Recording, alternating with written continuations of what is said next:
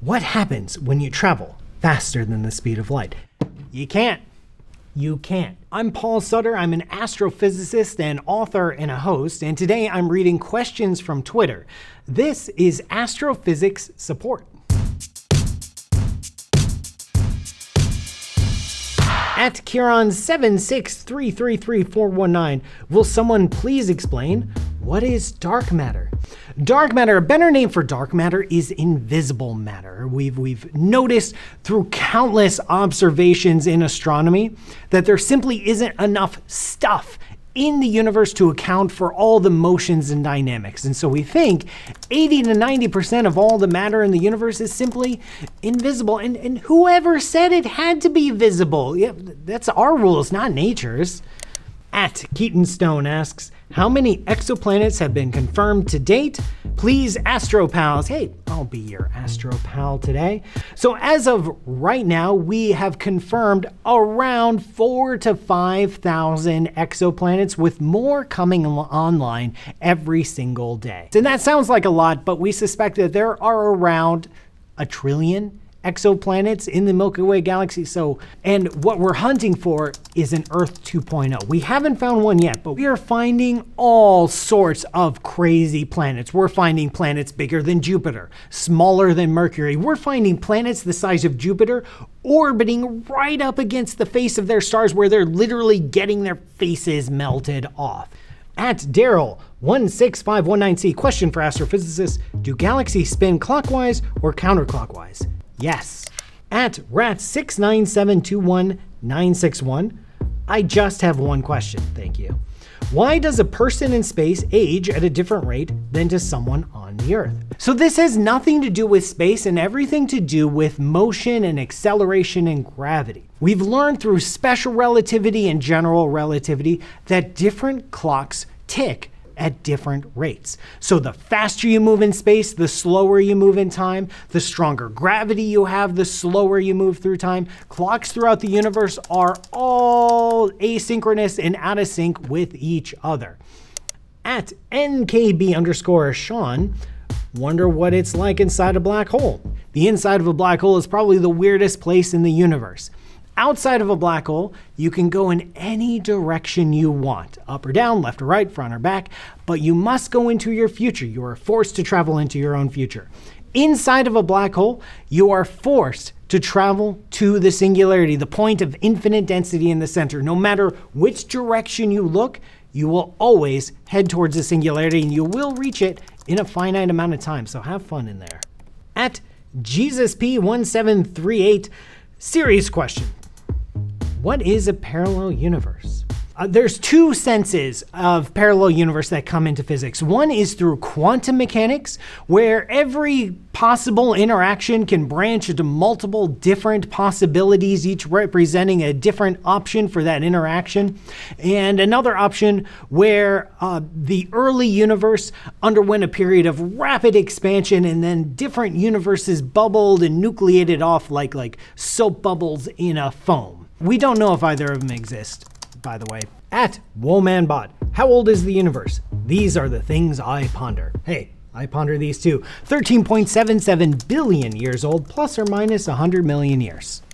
At Coffee Ice Cream, can anyone explain to me what are cosmic rays before I throw these notes down a cliff?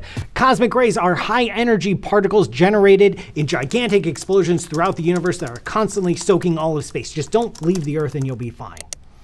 At Dr. David, what are the properties of planetary systems and what can they tell us about how they form and evolve? We have found so many different kinds of planetary systems in the galaxy. Like you can take the craziest sci-fi author with the craziest idea and it still comes up short to what we actually observe in the real galaxy with actual planets around other stars. Take, for example, the TRAPPIST system, the TRAPPIST-1 system.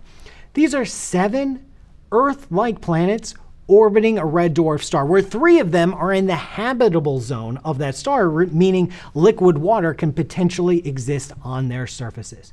So we've seen pretty much every combination of planets out there and stars out there. We've seen planets around binary stars, around triple stars. We've seen planets around big stars, around little stars, even dead stars. We're not quite sure what this tells us about the story of planetary formation because we're still gathering that data. We're still mining that treasure. At Swaggy Shrek simp. What is astrophysics and why do I want to do it? Astrophysics is the study of all the stuff that happens in the universe and it's awesome.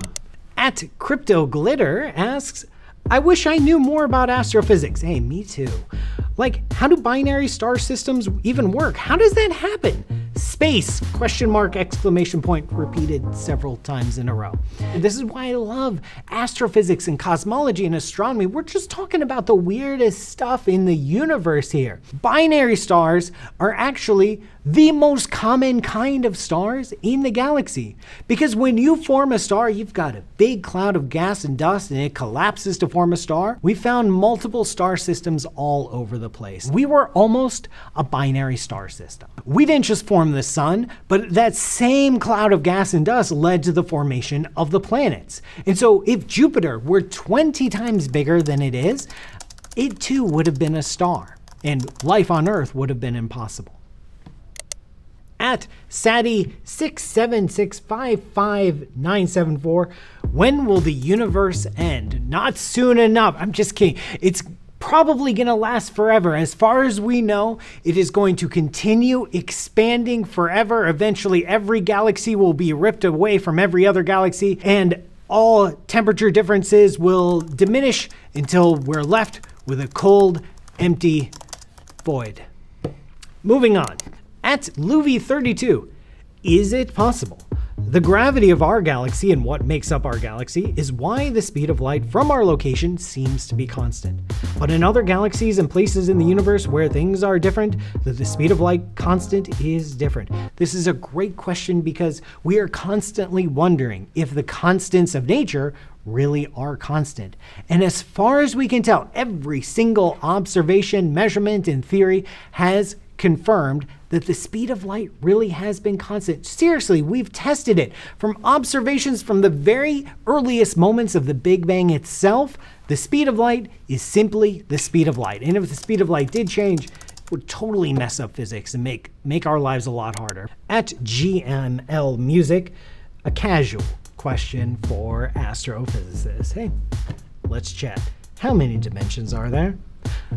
Four we know that we live in a four dimensional universe three of space, one of time, interwoven into a fabric that we call space time. There might be more big dimensions or small dimensions, but those are all speculative theories. At Michelle Floyd, today's astrophysics question Does the spin of a galaxy influence the spin of other nearby galaxies? It must. It must not. It doesn't. They're billions of light years away. At jhatman8, says, What caused the Big Bang? It's hard to believe that a microscopic particle started the Big Bang. Another option I just thought of is a large vacuum and a large pressure collided and boom. We don't know what caused the Big Bang. We don't know what started the universe. Our models of the universe take us to the very earliest moments, but without a theory of quantum gravity, we don't know what started at all. We don't even know if that question even makes sense.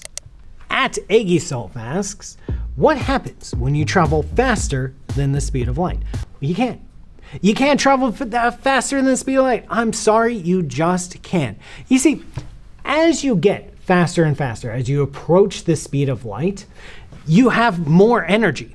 And in relativity, energy takes more work to accelerate. So you end up requiring an infinite amount of energy in order to travel faster than the speed of light. And so it's just forbidden. You know, when I watch a movie, you know, they're in the spaceship and they, they press the button or, or press the lever and they go faster than the speed of light. I don't care because when I'm watching a movie, I'm not grading homework here, folks. I just want to sit back and relax and enjoy the show at Xavier underscore HTML. If the universe is made up of mostly space and it's expanding, what's at the edge? More space? The source wall? Something beyond human comprehension? At the edge of the observable universe is just more universe. The universe is larger than what we can observe because light can only go so fast and the universe is only so old. However, we don't know how big the universe really is. It could be infinitely big or it could just be very, very, very large. But no matter what, the universe doesn't have an edge. It's not expanding into anything. It has no center, it has no edge. I know it doesn't make any sense, but, you know, since when has science ever made any sense? At Powell DS astrophysics question, if you time traveled exactly 30 years into the future, you would not be where you started, but in space. Yes? Yes. At equal opposite, astrophysics question Is the quantity of dark matter in the universe increasing, decreasing, or has it remained the same since time equals zero? Yeah, the amount of stuff in the universe, normal matter, dark matter, boring matter, whatever it is, has been the same. The density is dropping though because we live in an expanding universe. Every day our universe gets bigger and bigger, and so it's diluting out all that same amount of matter. At Schley, another astrophysics question. If the Earth's axis wasn't tilted, would there be any way to directly observe the passage of a year? Yeah, good good point here because it's through the axis of the rotation of the earth that we get our seasons and the transitions of the seasons. But even if we didn't have that tilt, we would still be able to notice the passage of a year because of the stars that we would see. As we go around the sun in our solar system, we see different sets of stars on our night sky and it rotates continuously through the year. So anyone who can observe the night sky night after night over the course of a year would be able to figure out that we do have a year. At Thin Lens, if you have a car that travels faster than the speed of light, what happens when you turn on the headlights? First, you can't travel faster than light, but no matter how fast you're going, the light always comes out of your headlights at the speed of light, because that's what light does. Here we have at Upili. Hi there. Hello. I have an astrophysics question, and my question is Is the structure of the universe as it stands at its current level of expansion related to the original singularity that resulted in the Big Bang? Hmm. Not quite. Uh, uh, at the very largest scales, we see something called the cosmic web. It's the very largest pattern found in nature. It's literally made of galaxies. But the cosmic web had its origins, but in the earliest moments of the Big Bang, where quantum fluctuations in space time itself led to tiny little density differences. And then over the course of billions of years, these density differences grew up to become clusters of galaxies in, in the great cosmic voids. At PW Brewer, question for astrophysicists, that's me. How far from Earth could you detect a Hiroshima sized atomic blast with our technology? Uh, like, yay far. We'd probably spot it on the other side of the solar system, but that's it.